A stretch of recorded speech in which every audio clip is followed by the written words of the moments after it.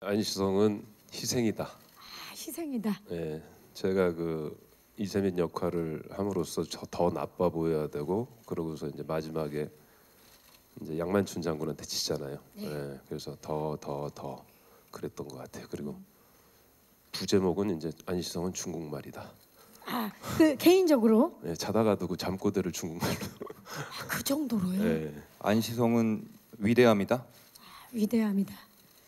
정말 역사적으로 정말 위대한 승리죠 전투고. 예, 예.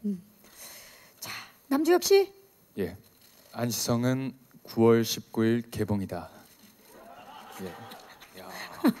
야 지금 옆에서 내가 그걸 왜 생각 못했지? 야, 이거. 학원 또 다니는 오늘 또 건데? 놓치고 가면. 오늘 학원 다니는 수준이야. 네, 정말 지금 아카데미 아, 정말 죄송한데 앞에서 하신 분들 내용이 전혀 기억이 안 나요. 오. 네. 안시성은 추석 연휴에 계속 상영이다. 아 그걸 살짝 바꿔서 좋습니다. 추석 연휴에는 안신성이다. 엄태구 씨, 안시성은 행운이다. 행운이다. 그 이유를 좀 여쭤봐도 될까요? 작품에 참여한 것 자체도 이렇게 선배님들과 배우분들 감독님 만난 것 자체도 그리고 제 캐릭터 만난 것 자체도 저한테는 행운인 것 같아서 아 좋습니다.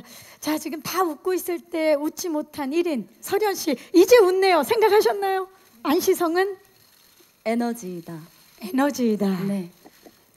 어, 저도 촬영을 하면서 선배님들한테 좋은 에너지를 많이 받았고 그리고 그 에너지가 영화에도 담겨 있을 것 같아서 보시는 분들도 그런 에너지를 느껴주셨으면 좋겠습니다.